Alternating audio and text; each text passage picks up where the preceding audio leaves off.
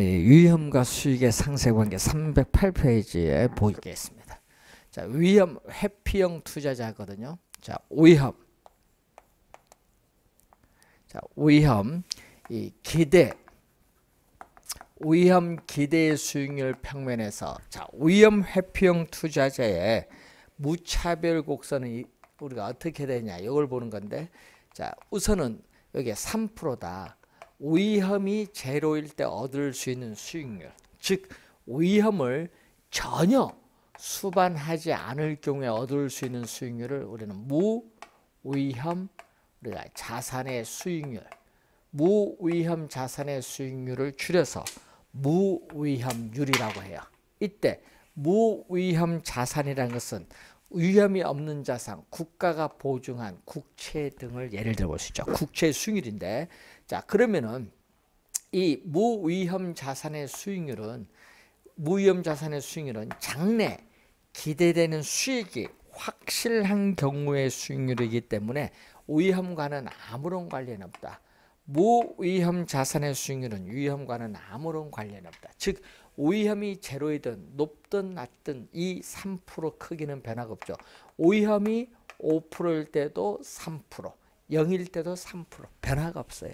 그래서 이 무위험률의 크기 이것은 이 무위험률의 이 크기는 우리는 위험과는 아무런 관계없고 순수한 시간에 대한 대가다. 이 순수한 시간에 대한 대가가 바로 무위험률의 크기인데 이 무위험률은 3%가 3.1%될 수도 있고 2.8%될 수도 있어요. 무위험률은 고정된 것이 아니라 일반 경제 상황의 변화에 따라 변할 수 있어요. 예? 저축률, 투자율, 신용 제한, 통화량의 변동, 지급 준비율 변동, 일반 경제 상황의 변화에 따라 무위험률은 변할 수 있는데, 자 이렇게 가겠죠. 자 위험이 높을수록, 자 여러분 이렇게 위험이 높을수록 수익률이 높은데 이렇게 위험 축에 대해서 볼록을 하면은 위험 회피형 투자자인데, 자 이 그림을 보면은 자 308페이지 맨 위에 보면 이런 말이 나오죠. 일반적으로 위험과 수익은 무슨 관계에 있다? 비례 관계에 있다. 자, 일반적으로 위험과 수익은 무슨 관계느냐? 비례 관계에 있다는 거죠. 자, 일반적으로 일반적으로 위험과 수익은 비례 관계에 있다.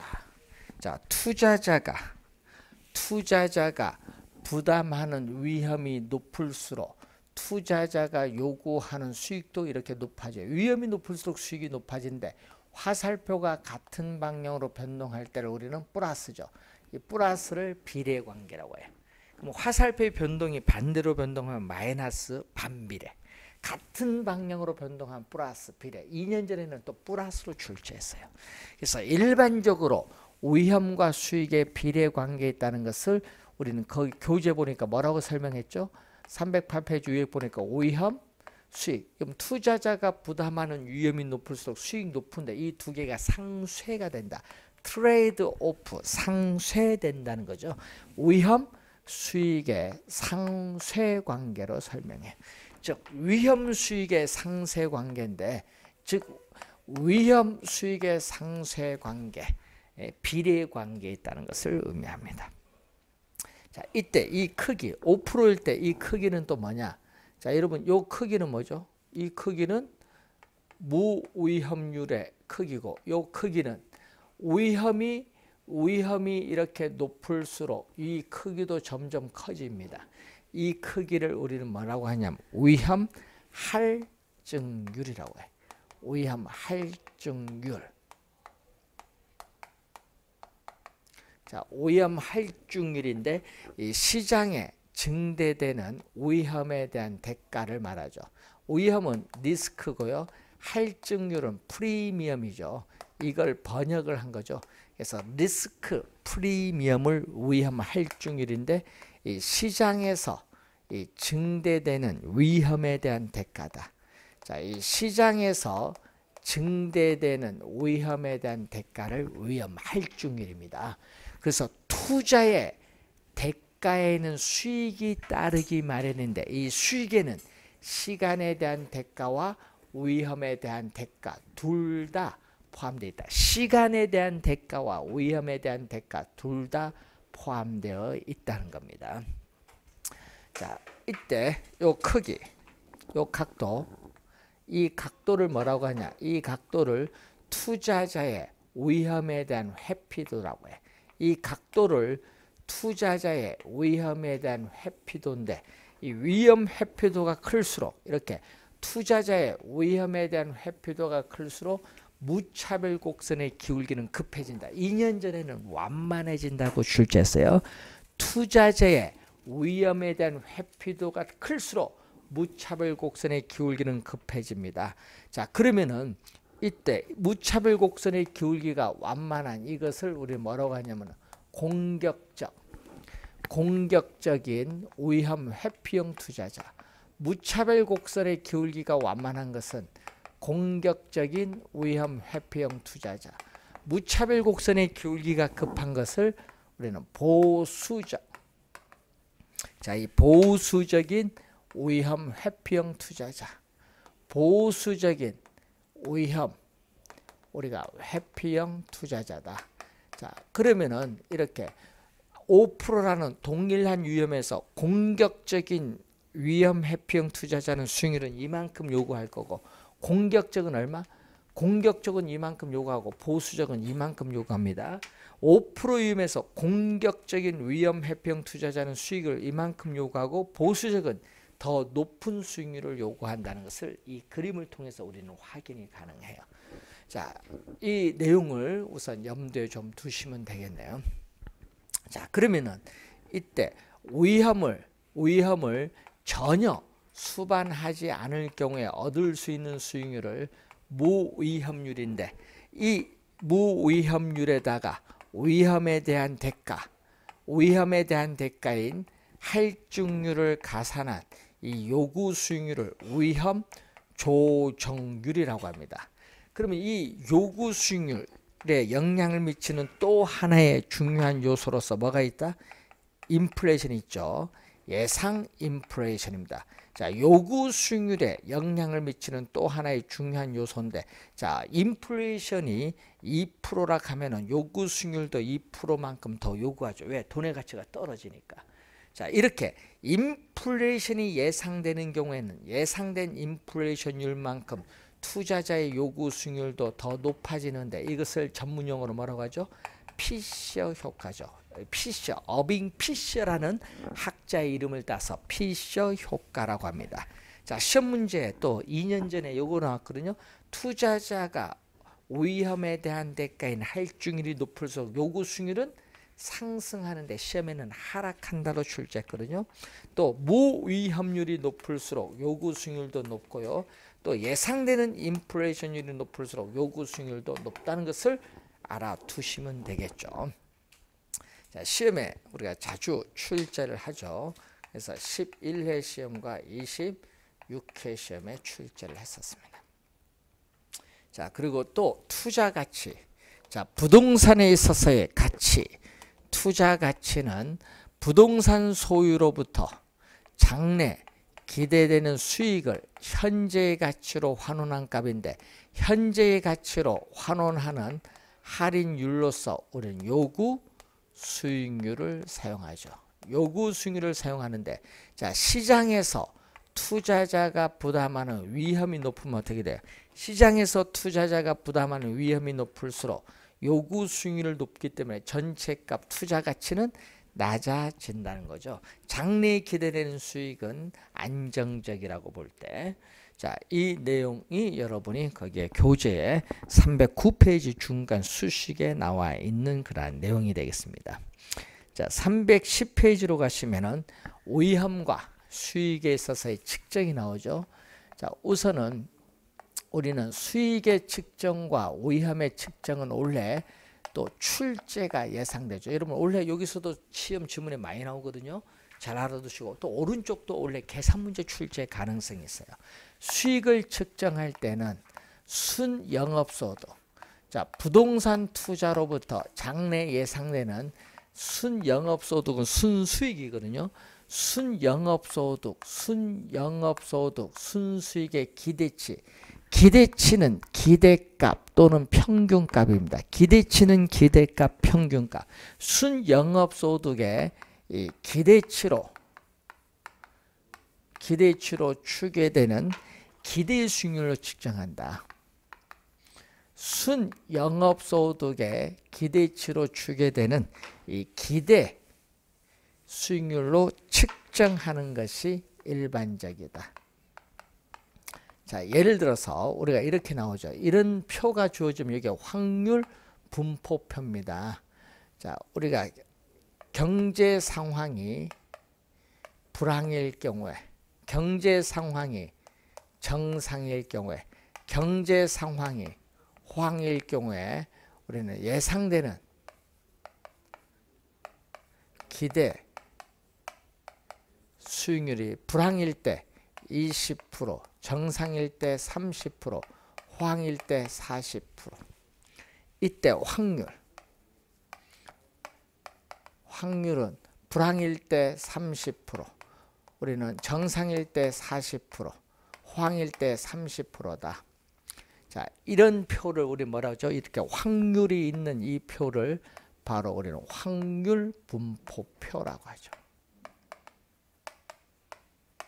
자, 이 확률 분포표로부터 이제 구하는 거죠. 이렇게 시험 문제 표가 주어지거든요.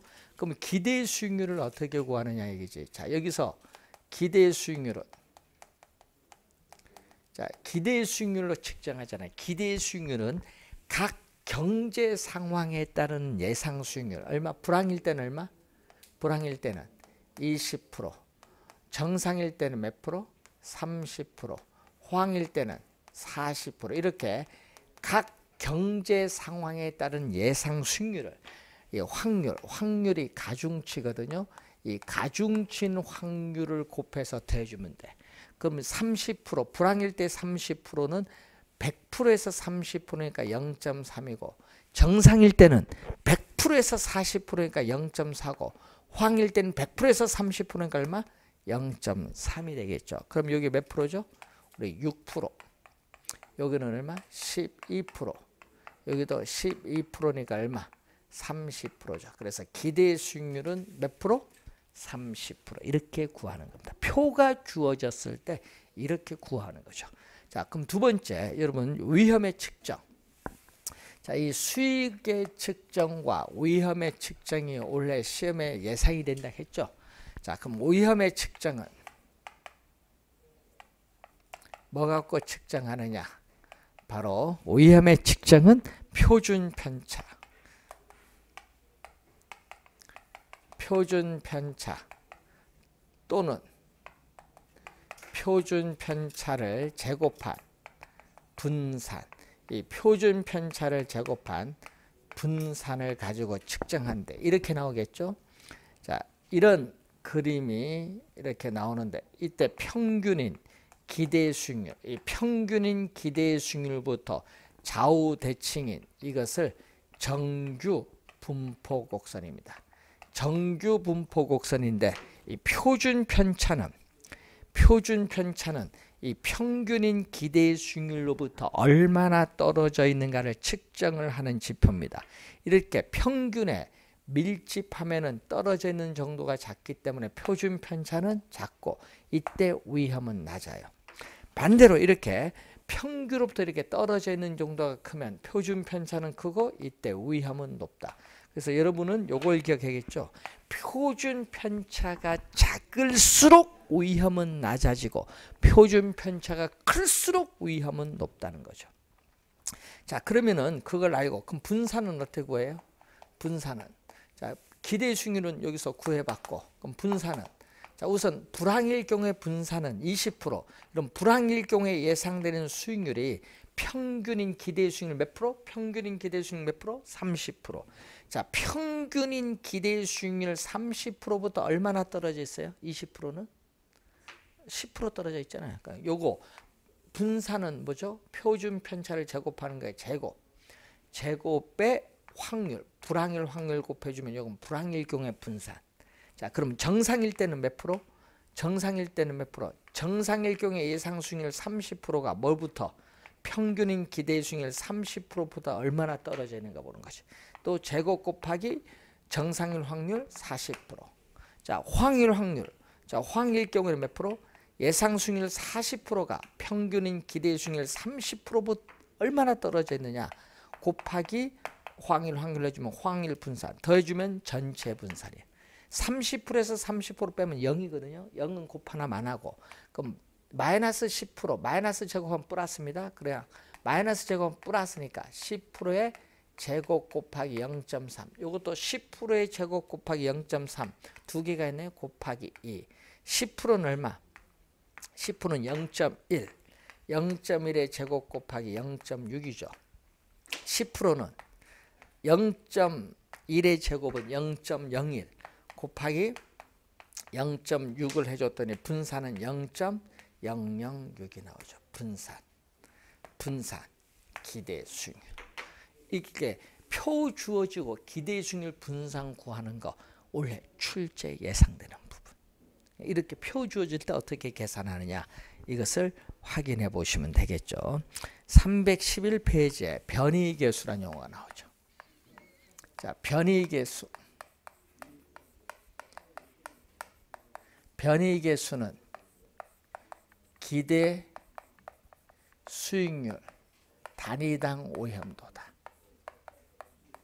자, 이 변이계수는 이 기대 수익률 단위당 오염도를 나타내는데 기대 수익률 1%당 오염 기대 수익률 1%랑 오염 표준 편차 얼마냐 이걸 보는 거죠. 기대 수익률 1%의 표준 편차. 네. 그래서 여러분 예를 들어서 예를 들어서 이렇게 주어 볼 수 있죠. 자, 아파트, 상가, 호텔 예, 예를 들어 보는 겁니다. 이렇게 투자 대상이 여러 개 있는데 자, 기대 수익률 자, 기대 수익률 아파트 우리가 5%, 상가 10%, 호텔 20%다. 자, 표준 편차는 위험을 측정하는 거죠. 자, 표준 편차는 오염을 측정하는데 자, 아파트 1%, 상가 3%, 우리가 여기는 5%다. 이렇게 볼 수 있죠. 자, 그럼 변이 계수는 어떻게 측정해요? 그럼 변이 계수는 변이계 수는 기대 수익률 단위당 오염도 얼마죠? 기대 수익률 5%에서 표준 편차 1%니까 0.2가 되겠지. 0.2. 그럼 여기는 얼마? 여기는 10분의 3이니까 0.3. 여기는 얼마? 20분의 5니까 얼마? 20분은 4분의 1이죠. 4분의 1은 얼마? 0.25. 뭐 이런 식이죠. 그럼 이렇게 구하죠. 그럼 아파트가 제일 작은 아파트가 상가 호텔에 비해서 어떻게 돼? 상대적으로 기대 수익률 단위당 오염도가 어떠냐. 그래서 아파트가 다른 투자과 비교한다. 다른 투자과 비교할 때를 우리는 앞에 뭐를 붙여요? 상대적. 이렇게 아파트가 상가 호텔과 비교를 할 때는 상대적을 붙이면 돼. 그래서 이것을 상대적 표준 편차라고 해요. 상대적 표준 편차인데 그래서 이 기대 수익률 단위당 위험도가 낮을수록 유리하죠. 위험 회피용 투자자는 이 기대 수익률 단위당 위험도가 낮을수록 유리하다. 그럼 요 역수는 어떤 관계? 자, 변이 계수의 역수는 이런 관계죠. 변이 계수 역수는 위험 단위당 기대 수익률. 자, 변이 계수의 역수는 위험 단위당 기대 수익률을 말하죠. 그럼 오염을 측정하는 건 표준 편차죠. 표준 편차 1%랑 기대 수익률은 얼마냐? 요걸 묻는 거죠. 자, 17회 시험에 또 출제를 한 용어인데 이 위험 단위당 기대 수익률은 뭐 할수록 요건 높을수록 유리하다. 변이계 수익값은 작을수록 유리하지만 그 역수인 위험 단위당 기대 수익률은 높을수록 유리하다는 것을 알 수가 있습니다. 자, 오염 관리 방법. 자, 311페이지에 오염 관리 방법을 보면은 오염의 정가란 용어 있어요. 정가. 자, 미래의 잠재적 손실의 가능성을 우리는 제3자에게 떠 넘기는 것을 얘기하죠. 그래서 시험에 많이 나오죠. 그래서 특히 시험에 요걸 출제했었죠. 미래의 불확실성에 따르는 위험을 우리는 보험회사에 보험에 가입을 함으로써 우리는 전가시킵니다. 또 원청업체와 하청업체 간의 하청계약을 체결해서 하청업체 위험을 떠넘겨요. 그리고 기업과 니스 회사 간의 니스 계약을 체결함으로써 위험을 니스 회사에 떠넘기죠. 이걸 위험의 전가, 시험에 자주 출제가 되는 용어예요. 자, 그리고 위험의 또 회피. 위험의 회피는 대부분의 투자자는 또 위험의 회피죠. 대부분의 투자자는. 자, 위험에 여러분 미래의 손실의 가능성을 피하는 방법으로서 뭐 투자에 뭐 부적격 자산을 제외한다. 뭐 투자에 부적격 자산을 제외한다. 뭐 이런 건 위험의 회피. 위험의 보유라는 것은 어떻게 해요? 이 미래의 손실을 볼 가능성을 스스로 부담을 해요. 그래서 예를 들어서 외부적 요인에 의한 감가상각을 에 따르는 충당금을 설정해서 스스로 위험을 부담하는 방법. 위험의 통제. 손실의 발생 횟수 규모를 줄이는 방법으로서 민감도 분석 그리고 포트폴리오 분산 투자의 결정 등이 여기에 해당합니다. 자, 요 두 가지가 자주 나오죠. 특히 위험의 전가가 중요하고요. 자, 그리고 위험을 처리하는 방법 보면은 오염한 투자를 제외시키는 방법이 있어요. 자, 오염한 투자를 제외시킨다는 것은 투자한 원금을 잃지 않으려고 안전한 자산인 국채에 투자하는데 그럼 위험한 투자를 제외시키는 방법은 위험의 회피에 속해요.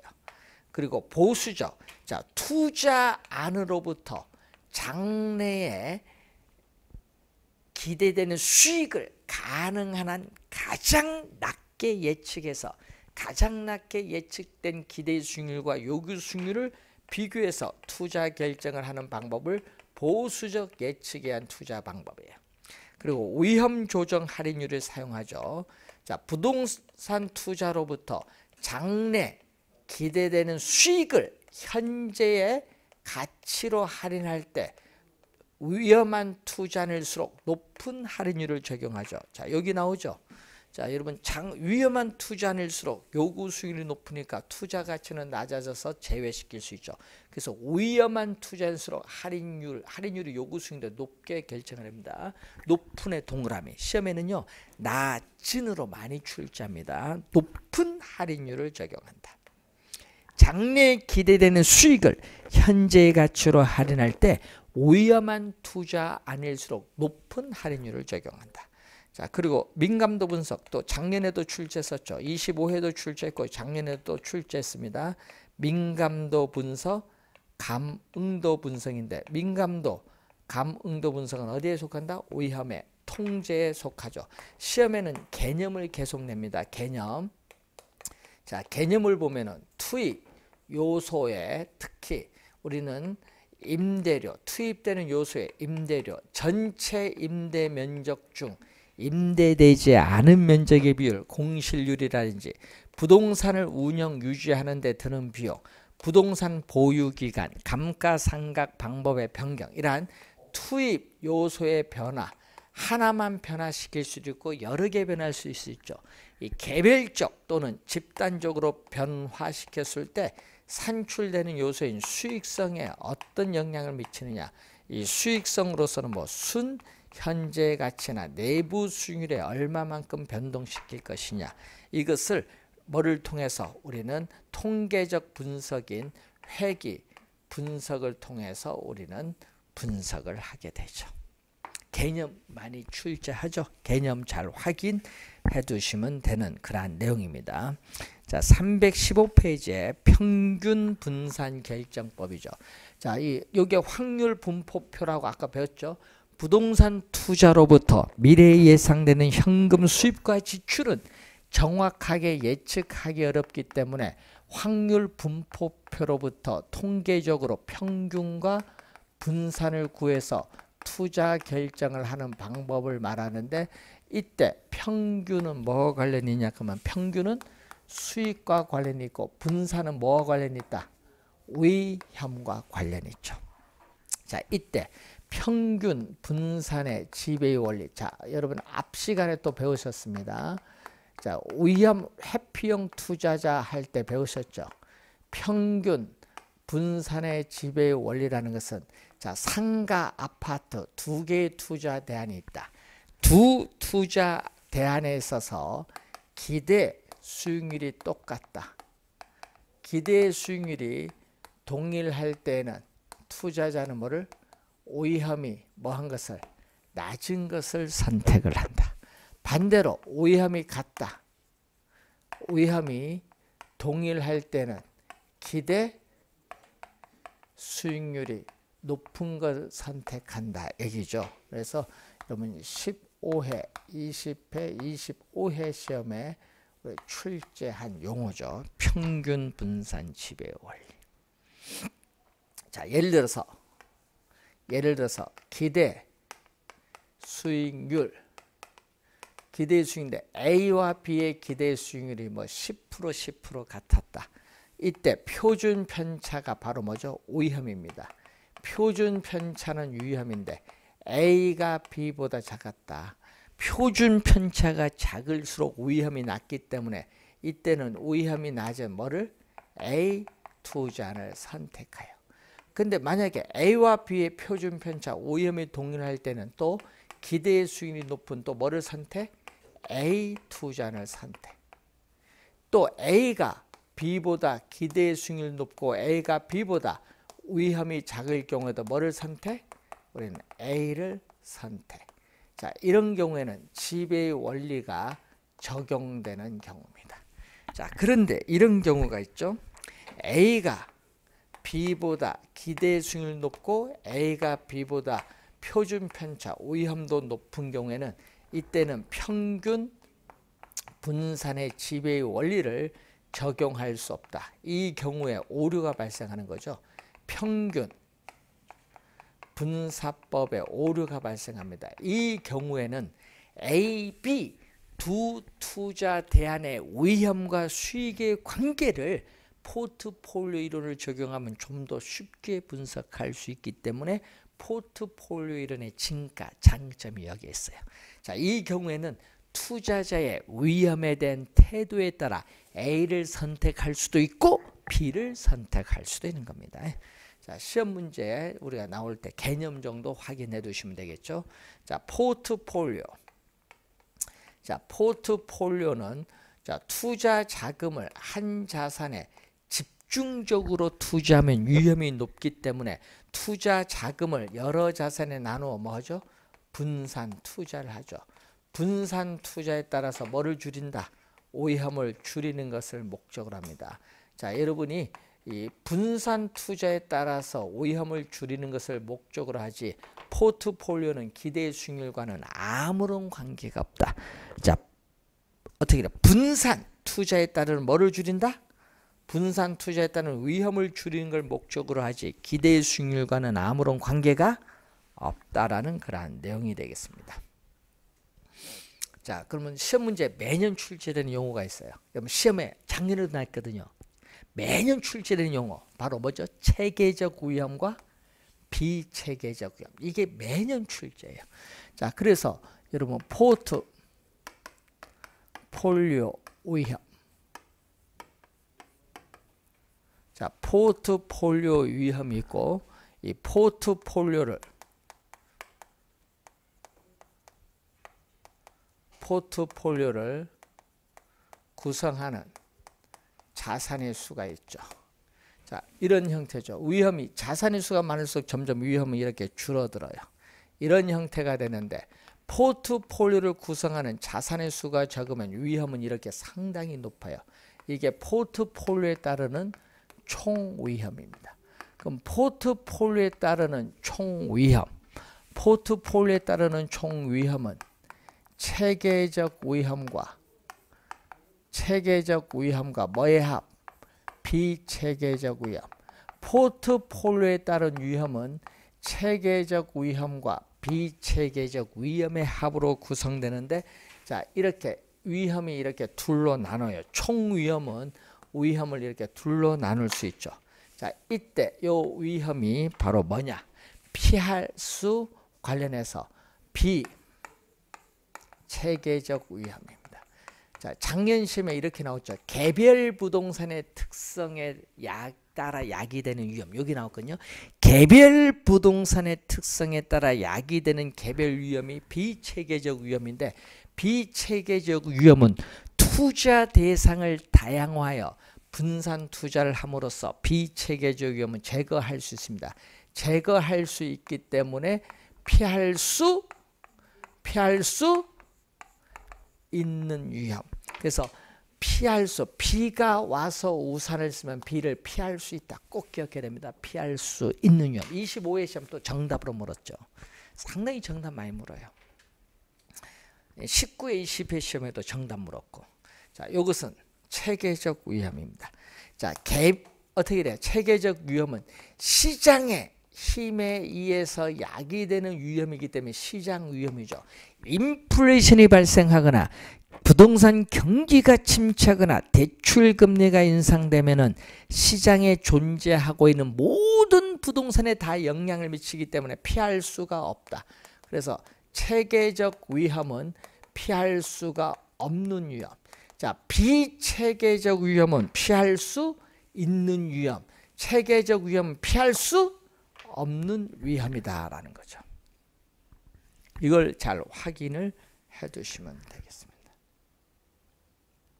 자, 그러면 그림에서 보듯이 이렇게 포트폴리오를 구성하는 자산의 수가 많아질수록 통계적으로 비체계적 위험은 점점 줄어들어요. 그러다가 완전히 제거된 건 어디? 여기까지 오면 완전히 제거돼요.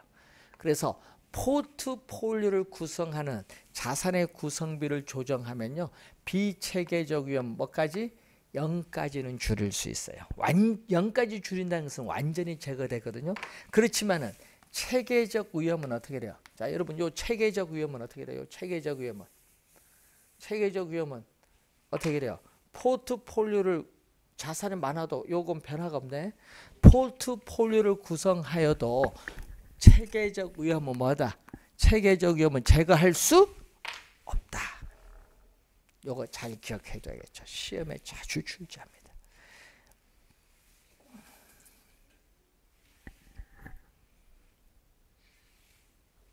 자, 상관계수가 나오죠. 상관계수는 포트폴리오를 구성하는 두 자산입니다. 뭐 A, B 두 자산밖에 없죠. 자, 포트폴리오를 구성하는 두 자산 간의 이 수익률의 움직임, 변동을 나타내는 지표입니다. 그래서 시험 지문에 보면요. 이 말이 꼭 나와요. 포트폴리오를 구성하는 두 자산 간의 수익률의 움직임 변동이 꼭 나온다. 수익률의 움직임 변동을 나타내는 지표를 우리는 상관계수라고 해요. 이때 상관계수는요.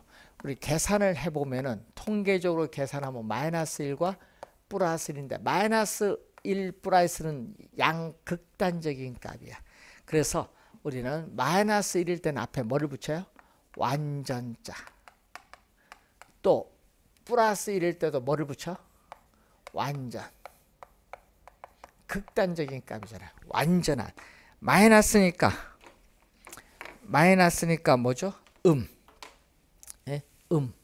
마이너스 완전한 음의 상관 관계 플러스일 땐 또 완전한 양의 상관 관계 자 이때 완전한 음의 상관 관계일 때는 즉 상관계수의 값이 마이너스일 때는 어떻게 돼요? 포트폴리오를 구성하는 자산의 구성 비율을 조정하면 피할 수 있는 위험인 비체계적 위험을 0까지 줄일 수 있다.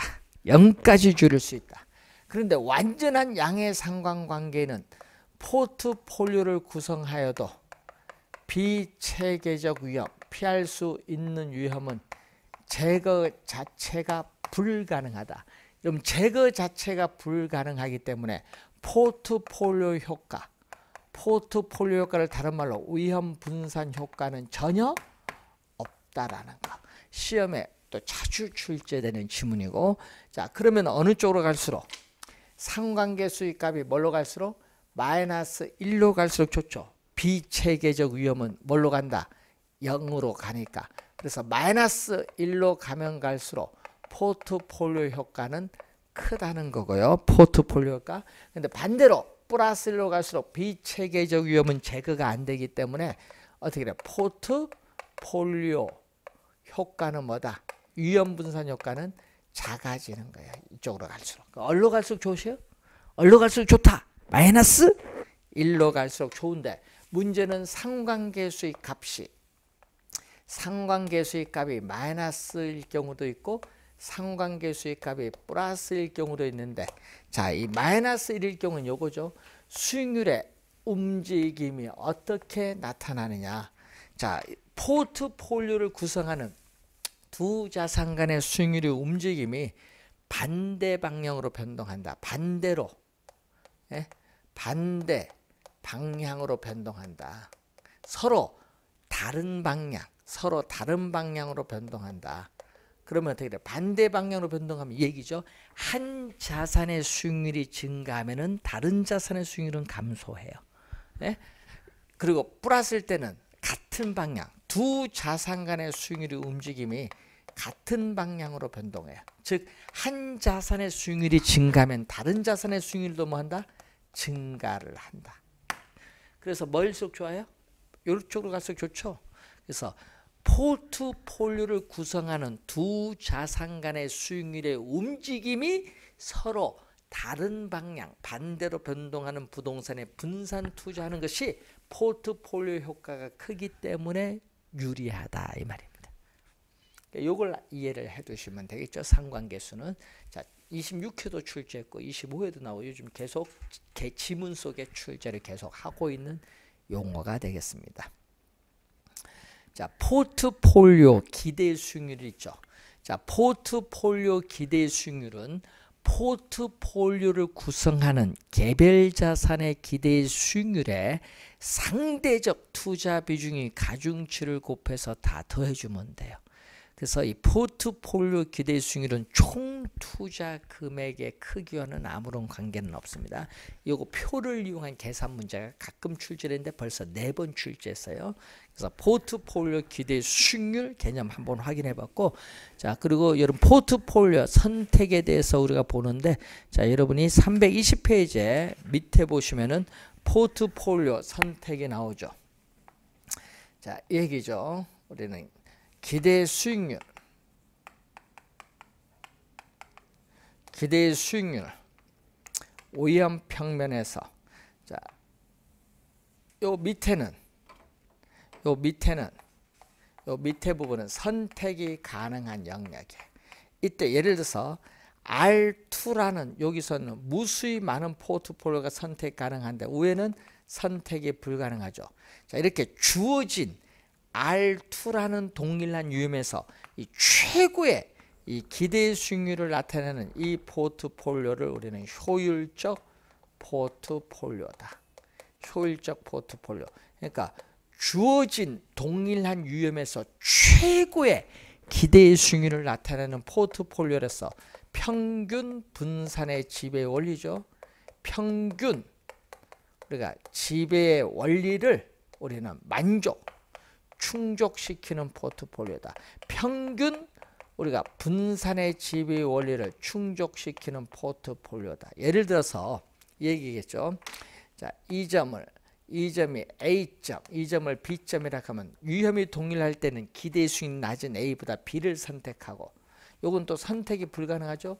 자, 이거 실학하면은 기대 수익률이 동일할 때는 위험이 높은 C보다 B를 선택한다. 이게 평균 분산의 지배율 원리를 만족시키는 포트폴리오예요. 이걸 이렇게 연결한 이 곡선을 뭐라고 하죠? 연결한 이 곡선을 최근엔 이 용어로 출제하죠. 효율적 frontier라고 하죠. 프론티어. 효율적 프론티어 또는 효율적 전선이라고 하는데 효율적 frontier는 그림에서 보듯이 오른쪽 위로 올라가죠. 우상향하는데 우상향하는 이유가 뭐냐 하면은 주어진 동일한 위험에서 이게 최고의 기대 수익률을 나타내는 포트폴리오인데 이것보다 더 높은 수익률을 얻기 위해서는 투자자는 위험을 더 감수, 부담을 해야 되기 때문에 우상향할 수밖에 없다는 거죠. 자, 이때 투자자의 위험에 대한 태도를 나타내는 게 이게 뭐라고 해? 무 차별. 위험 축에 대해서 볼록하면은 위험 회피형 투자자의 무차별 곡선인데 무차별 곡선은 투자자에게 동등한 효용, 만족을 가져다주는 위험과 기대 수익의 조합을 연결한 곡선인데 이 곡선상의 어느 점이든지 만족은 똑같아요. 그런데 투자자는 얘기죠. 자, 여러분이 R1일 때 동일한 위험일 때 요 점에서는 수익률이 낮고 여기서는 수익률이 뭐다? 여기서는 수익률이 높죠. 그럼 우리는 동일한 위험에서 밑에보다 위, 위가 수익률이 높기 때문에 무차별 곡선은 밑에보다 위가 만족 효용이 더 높아요. 그런데 투자자는 여기서 봤을 때 요 점, 이 점, 무차별 곡선 만나는 이 점, 이 점을 A, 이 점을 우리가 뭐다? E, 이 점을 뭐라고 한다? 우리가 F라고 한다. 요즘 A라 하지 말고 이거 뭐죠? H. 그러면은 여러분이 이 효율적 프론티어 상에 있는 H, E, F는 모두 효율적 포트폴리오입니다. 어느 것이 선택이 가능한데 투자자는 H와 F는 선택을 안 해요. 왜? H나 F를 지나는 무차별 곡선은 이점을 지나는 무차별 곡선보다 낮기 때문에 효용이 낮기 때문에 선택 안 해. 그래서 뭐를 선택? E를 선택해. E가 투자자의 기대되는 효용을 가장 극대화시키는 유일한 점이에요. 그래서 이, 이 점을 뭐라고 하죠? 이, 이 점을 우리는 최적 포트폴리오. 또 여러분 시험 문제 정답 우리가 또 2년 전에 또 정답 물었죠. 최적 포트폴리오. 26회 시험에 정답 물었는데 뭐죠? 투자자의 위험에 대한 태도를 나타내는 무차별 곡선과 효율적 프론티어가 뭐 하는 점? 만나는 점이 아니라 접하는 점. 접하는 점이 포인트입니다. 그걸 정답을 묻죠. 접하는 점에서 달성된다는 것을 기억을 해 두시면 되겠습니다.